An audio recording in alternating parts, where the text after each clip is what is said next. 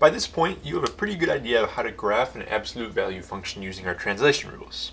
In this video, we're going to take that and we're going to tie in one extra kind of step involving a few different vocab words in our graphs.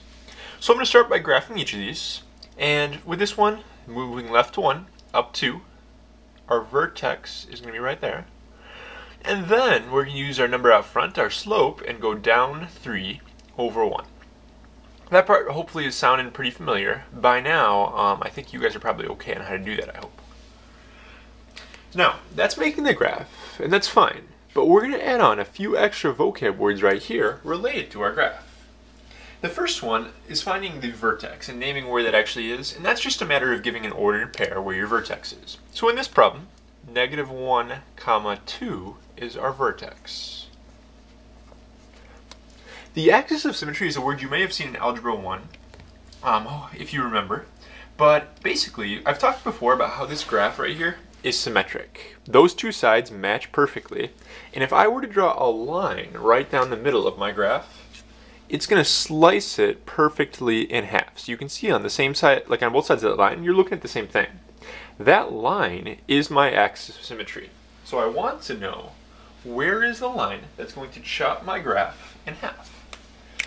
So this line right here is my axis of symmetry, and that is a vertical line. Remember, vertical lines are x equals, and that's at negative 1. So my axis of symmetry is x equals negative 1. It's the line that chops your graph in half.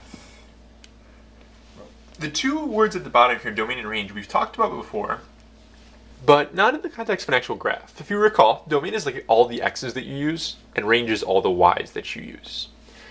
In order to do this graphically, this is kind of something that takes a little bit of practice. You probably won't get this the very first example you see. It comes with practice, and we're going to do it every type of graph we look at this year. Think about your x's right here. If I look at my graph, let's take care of the left side first. From the vertex, my graph is going down, but it's going left. It's going left, it's going left, it's going left, it's going left. If you picture maybe like if you just kept following the graph off the screen, if I wanted to use the x value of like 500, negative 500, my graph is eventually going to get to negative 500. It's going to go down, down, down, but it's still going to the left. Your graph is going to hit everything going to the left. It's just going to keep angling this way. So if I wanted to use the x value negative 1 million, I may have to wait a while for the graph to get there going like this, but it'll eventually get there. I'm going to use all those x's. And the same thing's going to happen over here. This graph's going to go to the right, and it's going to keep going to the right while going down. If I wanted x equals 5,439, I can keep going until it hits there. So any x value I want, if I wait long enough, my graph is going to get to that x. The domain is all real numbers. There's our symbol from that from earlier every x value we could want is used. On the other hand, with my range, range is talking about the y values I use. So the y's are going up and going down.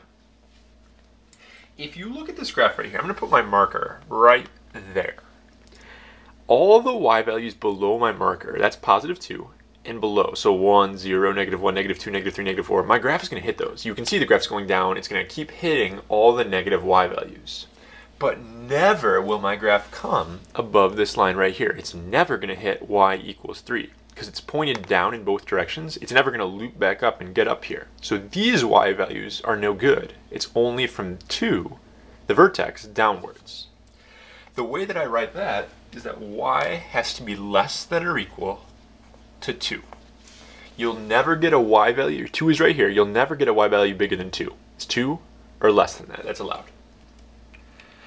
The domain and range are a little tricky, and I'm very like used to kids needing like you need to practice that. It's something that comes with time. Um, so we'll definitely be spending time on it in class. But I'm going to try to power through the second example here. If you're feeling adventurous, you can try it for yourself. Vertex is going right 3, down 1. So right 3, down 1 will be right there. My slope says 1 half, so I'm going to go up 1 over 2 in each direction. And I'm going to draw my graph here. The vertex on this one appears to be at 3 comma negative 1. The axis of symmetry, line that chops it in half right there, that's at x equals 3. Always going to be x equals its a vertical line. The domain, it's going to keep going to the right, it's going to keep going to the left, it's going to hit all the x's. Domain is all real numbers. For absolute value graphs, it's actually always all real numbers, um, unless you do something super crazy with it, which we won't cover in this class. And my range, the y's that we use are from this marker upwards. So it'll hit negative 1 for the y, and it'll go up in each direction, but it never, ever, ever comes down into this area. The way I write that is y is greater than or equal to negative 1. Again, domain and range takes practice. We will do that extensively, but hopefully you're starting to see where I'm going with it.